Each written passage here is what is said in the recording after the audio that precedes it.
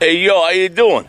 I'm at the back entrance of Palm Beach Plantation. It's almost March 2014, and our flower bed still looks like shit. Now there's weeds growing in it, just like there's weeds in all the grass that everybody has. But anyway, listen, how come our back entrance isn't taken care of like the front entrance, huh? The back entrance has more upscale homes than the front entrance does, but yet we get a half-ass, you know, flower bed. What's going on here, Palm Beach Plantation?